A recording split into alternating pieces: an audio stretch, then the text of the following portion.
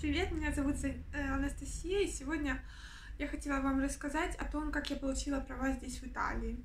Здесь, в Италии, вообще права получаются двумя, скажем так, э, ступенями. Во-первых, нужно сдать тест э, письменный или на компьютере по поводу всяких правил дорожного движения, то есть как давать дорогу,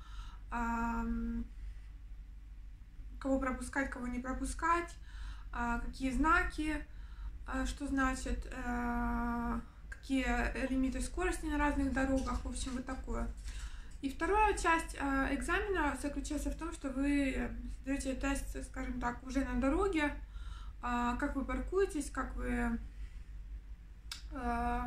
водите машины на автостраде. И, в общем, я записалась в школу вместе со своим папой. Папа меня записал в школу в 18 лет. И э, тогда все мои одноклассники все еще были меньше 18 лет, поскольку меня отправили, э, в общем, когда я приехала в Италию, меня отправили во второй класс средней школы э, в 16 лет. То есть я была немножко старше других. И когда я начала заниматься, во-первых, эм, мне дали такой фолио роза, это называется такой листик розового цвета, на котором написано, что я могу заниматься вождением в течение шести месяцев с человеком рядом, который э, имеет больше 10 лет опыта вождения.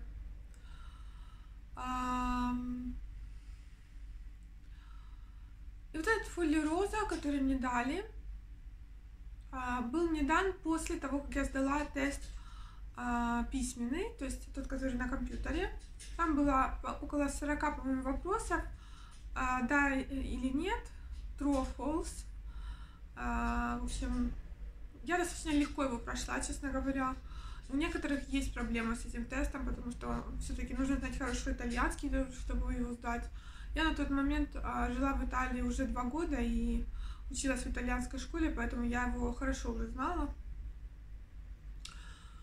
В общем, этот фолиорозу мне дали после этого теста. И тут я начала водить.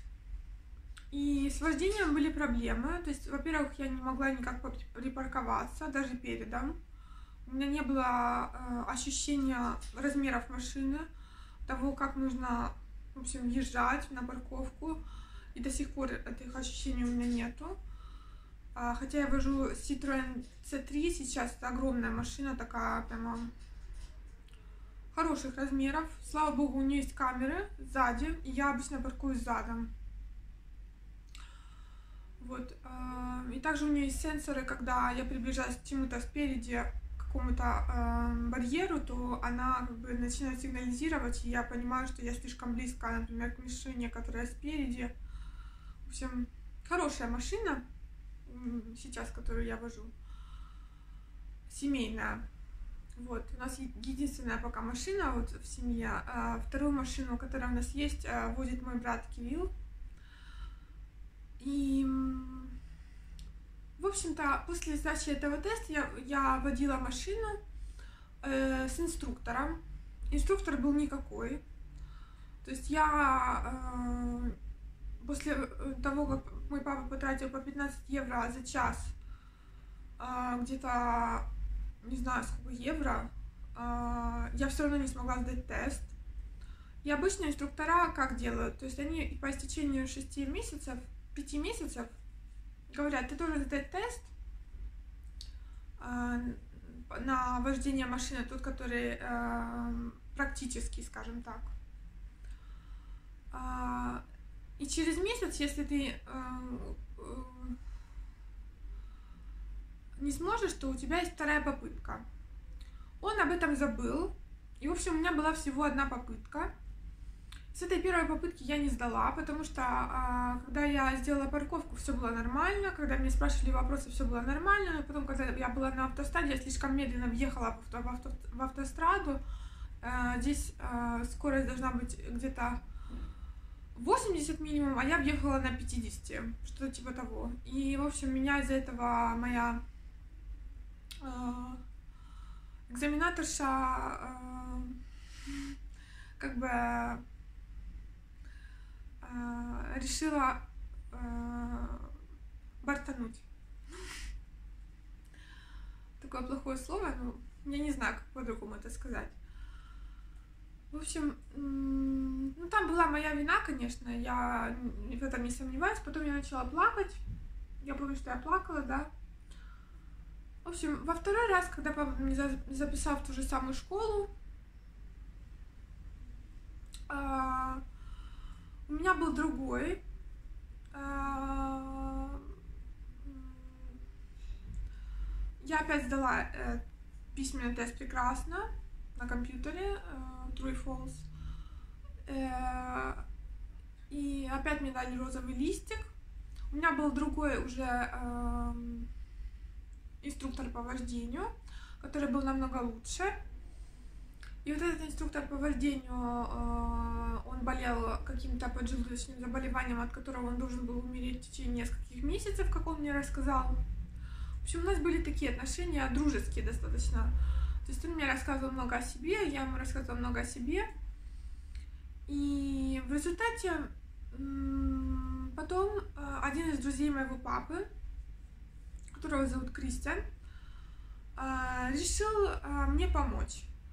Он со мной тренировался в течение нескольких месяцев, раз в неделю или два раза в неделю, помогал мне, в общем, понять, как водить машину. И вот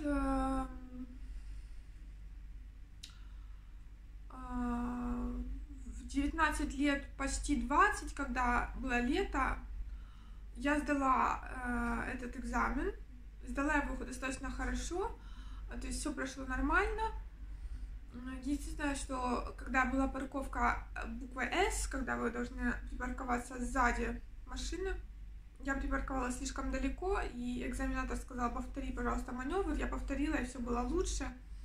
В общем, а, вот единственная проблема была в этом. А все остальное прошло очень а, хорошо.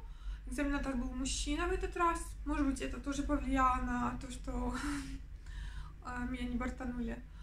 Вот. Но водить машину сейчас я особо не умею, честно говоря. Особенно с парковками у меня проблемы, как я уже говорила.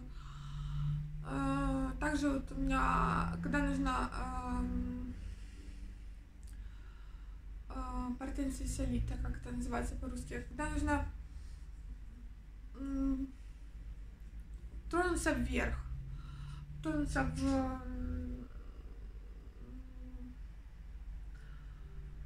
э, в гору, в общем. У меня проблема с этой игрой с педалями, то есть как нужно нажимать э, сцепление и газ. В общем, у меня постоянно выключается машина, мне приходится ее заново заводить. Эм, машина мне помогает, она на бензине, машина мне помогает каким-то образом, но все равно не всегда получается, буду честной. Вот, большое спасибо всем за внимание. Я немножко сделала это видео нервным, наверное. Вам передается моя нервность. А, а, я потратила много денег на то, чтобы сдать этот э, тест на права здесь, в Италии. Но все хорошо сложилось, я этим довольна. Сейчас вот я э, вожу своего э, папу в больницу, когда, поскольку он сломал ногу, не может сам водить. Э, я часто езжу в магазин, за продуктами, потому что та же самая проблема. Папа не водит, мама не водит, и приходится мне, например, покупать какие-то большие вещи, типа там напитков, а, или тяжелой картошки, которые не притащишь из супермаркета вручную. Вот, и все прекрасно, я довольна. Когда я вожу машину, я чувствую себя сильной женщиной. Большое спасибо всем за внимание и всем пока-пока.